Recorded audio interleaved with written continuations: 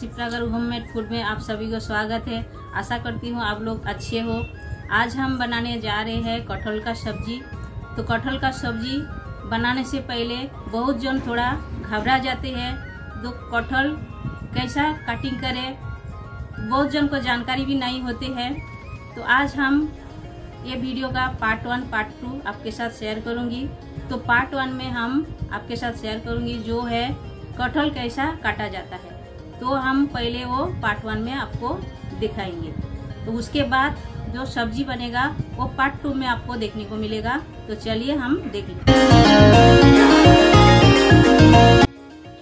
कटहल काटने से पहले नीचे एक न्यूज़ पेपर नहीं तो ऐसा पन्नी बिछा लेने का, ऐसा लादी के ऊपर। और एक बर्तन में पानी लेना है। तो हमने पानी ले लिया है। और इसमें हम आधा चम्मच तेल डाल दिया है पानी के अंदर। और हम डाल देते हैं, ये हल्दी हमने आधा टेबल चम्मच से भी कम लिया है, चुटकी भर से थोड़ा ज़्यादा, ये हम पानी में डाल देते हैं। ये डालने से आप जब कटहल कटहल काट के जब इसके अंदर आप डालोगे तो ये अंदर जो सफ़ेद वाला जो निकलता है कटहल का वो इसके बर्तन के अंदर चिपकेगा भी नहीं और हल्दी डालने से काला भी नहीं होएगा, इसीलिए डाला जाता है। तो आगे आइए और बताते हम।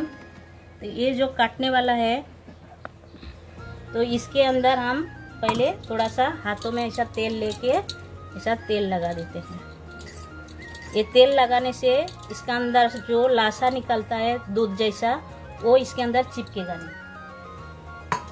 और अगली स्टेप हम बता रहे हैं, ये देखिए, ये जो सफ़ेद वाला निकलता है काटने से, ये देखिए दूध जैसा, इसे बंगाली में आठा बोलते हैं, नहीं तो कोई इसे लाशा बोलते हैं तो वो कैसा इसका निकल जाता है, हाथ में लगेगा नहीं, ये जो लेमन है, ये लेमन लिया है, ये लेमन इसमें लगा देने का ऐसा, ये देखिए, ये सब लाशा निकल जाता है, ये देखिए, निकल गया है। फिर आपस हम जब काटेंगे ऐसा, ये काटने से फिर भी निकलता है, देखिए, ये सफ़ेद सफ़ेद थोड़ा थोड़ा निकलता है।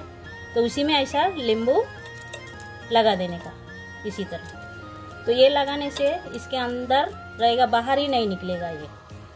और काटने में भी हमको आसानी होएगा। तो इसे हम लोग काठल बोलते हैं, हिंदी में कटहल बोलते हैं, और मराठी में तो बोलते हैं फानस। इंग्लिश में तो आप लोग जानते ही हो जैक फ्रूट बोलते हैं। तो चलिए, कैसा काटते हैं, देख लेते हैं।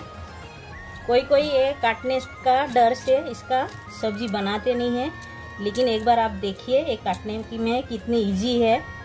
तो आप हर टाइम बनाना चाहोगे घर पे। ये देखिए, इसका जो, ये जो कांटे कांटे जैसा छिलका, ये थोड़ा सा जाड़ा करके हमें निकालना है। ये देखिए, ऐसा जाड़ा निकाल देना है इसका। ये देखिए, ऐसा निकाल देना है। आपके पास समझो काटने वाला ऐसा बोटी नहीं है तो आप छुरी से भी काट सकते हो ऐसा।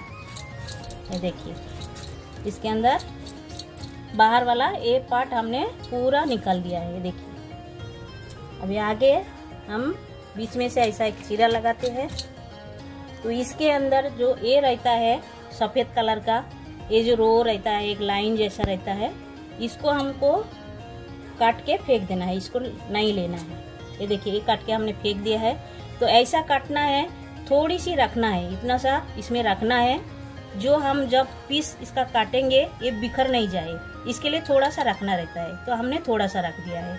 तो अभी अब पीस कटिंग कर रहा है। ये देखिए, आपको जैसा बड़ा चाहिए वो हिसाब से रखिए।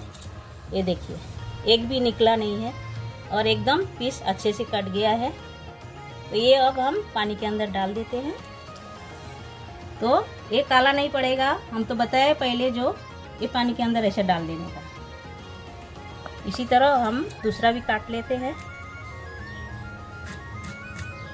काटने में कोई डिफ़िकल्ट नहीं है। एक बार आप देख लीजिए अच्छे से तो आप घर में हमेशा काट सकोगे। बाज़ार में भी कोई कोई काट के देते हैं, लेकिन समझो हमको बाद में सब्ज़ी बनाना है तो पहले से कटिंग करके क्यों रखना है?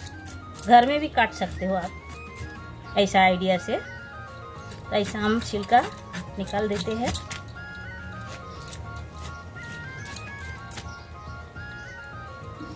बंगाली में इसको बोलते हैं एचोड़ तो एचोड़ का सब्ज़ी बोलते हैं इसको। ये बहुत ही अच्छा बनता है।